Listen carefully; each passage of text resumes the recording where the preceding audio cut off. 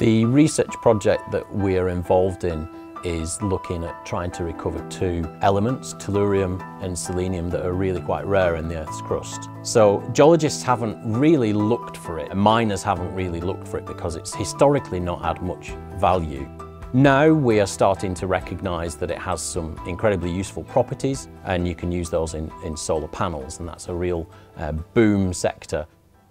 So our project is looking at trying to better understand those elements, how they move through the crust, how they're stored in rocks and how we can uh, ultimately exploit them and recover them uh, and provide them to industry.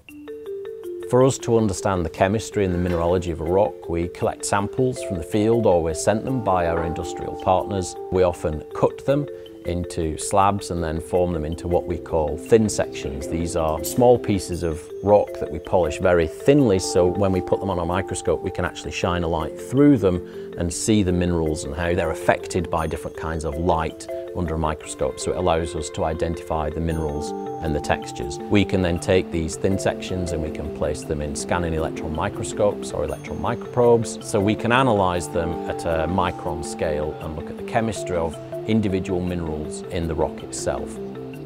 So when we've produced our thin sections and analysed the mineralogy and we understand the texture and the chemistry of them, we can send them over to our colleagues in the chemistry department who can determine how the different minerals in that thin section dissolve in the, the solvents that they're using and they can optimise their solvents to target the minerals that we are most interested in, so the, the telluride minerals for example.